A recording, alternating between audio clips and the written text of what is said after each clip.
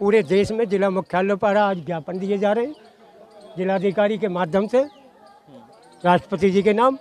राष्ट्रपति जी से अपील कर रहे हैं कि ये जो अग्निपथ योजना आई है, ये युवाओं का भविष्य अंधकार में ला देगी बिल्कुल। इस देश में जो है, कम से कम आर्मी एक ऐसी चीज़ है, इसे तो कम से कम मत छेड़ो।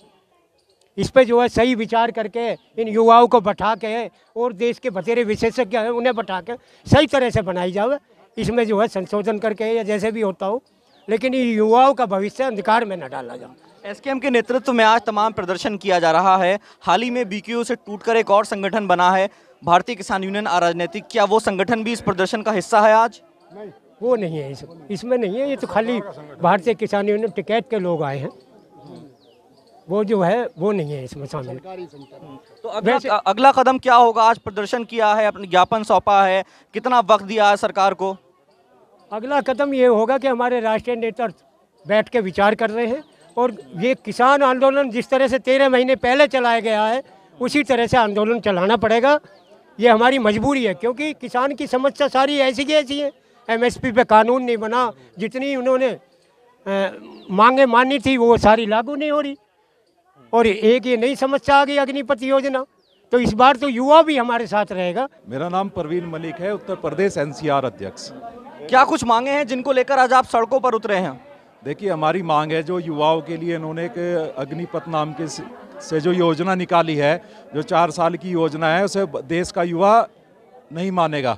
क्योंकि यहाँ पे बात ये कर रहे हैं कि भाई, यहाँ पे दिक्कत ये है कि जितने भी हमारे जो फौज में जो बच्चे जाते हैं, वो गरीब किसान मजदूर के बच्चे हैं, इसलिए किसान से मुद्दा जुड़ गया है।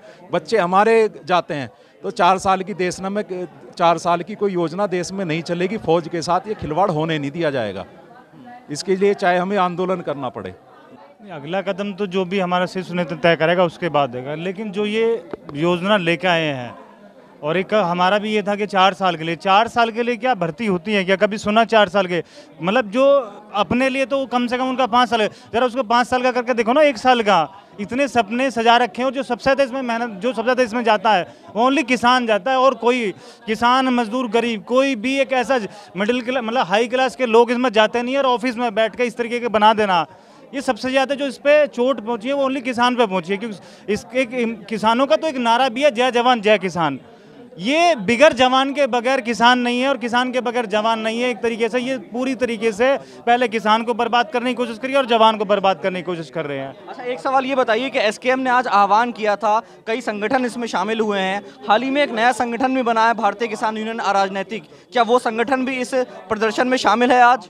वो तो सरकार ने बनाया संगठन उनका कोई है थोड़ी ना। अगर वो विरोध करेंगे तो आज जो उनके जितने भी नेता हैं उनके पास में दुनिया भर की सिक्योरिटी है। ठीक है एक एक उनके जिन्हें भी जि, जि, जिला अध्यक्ष सबके पास सिक्योरिटी जिस दिन वो विरोध करेंगे सारी सिक्योरिटी खत्म और उनकी दुकान बंद हो जाएगी। वो तो बनाया उन्होंने। तो अगर वो विरोध करें वे लड़ाई थोड़ा लड़ रहे हैं वो किसान की लड़ाई नहीं लड़ रहे हैं वो। तो आप देख सकते हैं कहीं ना कहीं जो अग्निपथ स्कीम है, उसकी वापसी को लेकर तमाम किसान यहाँ पर इकट्ठा हुए हैं। खास बात यह है कि इसमें बड़ी संख्या में महिलाएँ भी मौजूद हैं। मेरे पीछे आप देख सकते हैं तमाम महिलाएँ जो हैं यहाँ पर मौजूद हैं, उनसे भी बातचीत करेंगे। मैडम, किस तरह से देखती हैं इस योजना को आप? इस योजना को तो आप आप ये देखो, देश का किस तरह से नाश होने लग रहा है। किस, अभी तो किसानों का वो मुद्दा ही खत्म नहीं हुआ। उसमें भी इन्होंने झूठ झाट बोल के सब चीज़ चल रही है अभी तक तो उस पर भी लागू नहीं। अब किसानों के बच्चों के लिए अग्निपथ ला के रख दिया। आप ये देखो कि इस पूरे देश में इस बात के लिए रोष है कोई भी इस बात के लिए खुशी नहीं मना रहा है। सब परेशान हैं। आप ये देखो, जब से कोरोना का टाइम चला रहा था, बच्चे इतनी तैयारी करने लग रहे थे, आज आत्महत्या करने लग रहे हैं कि उनका भविष्य कहाँ है? चार साल में उन्हें क्या मिलेगा, ये बताओ? और क्या बनाना चाहते हैं देश के लिए? उन बच्चों को क्या ये बदमाश बनाना चाहेंगे? चार साल में क्या उनकी पेंशन है? क्या भविष्य है उनका? ये बताओ। उनकी तो ज़िंदगी बिल्कुल खराब हो जाएगी इस तरह से तो। आज एसकेएम के आह्वान पे आप तमाम लोग यहाँ प्रदर्शन करने पहुँचे हैं। क्या अगला कदम होगा अब आपका? इसके बाद अगर सरकार मांगे नहीं मानती है तो। देखिए अगर सरकार मांगे नहीं मानती है तो हमें इसके खिलाफ धरने पर बैठना पड़ेगा। क्योंकि ये बताइए कि सरकार अगर कोई आठ साल के लिए भी किसी पोस्ट पे आ रहा है तो क्या उसको वो बातें, क्या उसको वो सुविधाएँ नहीं मिल रही? पेंशन मिल रही है, आवास मिल रही है, भत्ते मिल रहे हैं, सब कुछ मिल रहा है। तो गरीब के बच्चे को, किसान के बच्चे को जो वो आर्मी में जा सकता था, उसके लिए इतनी बेरहम क्यों सरकार? हमारे बच्चों को कुछ भी ना मिले, ऐसा इन्होंने क्यों किया? इसके खिलाफ हम धरने पर बैठेंगे और हर वो मांग पूरी करेंगे, क्योंकि हमारे बच्चे, हमारे देश का भविष्य है, ये सरकार सबको पता है कि बच्चे भविष्य है।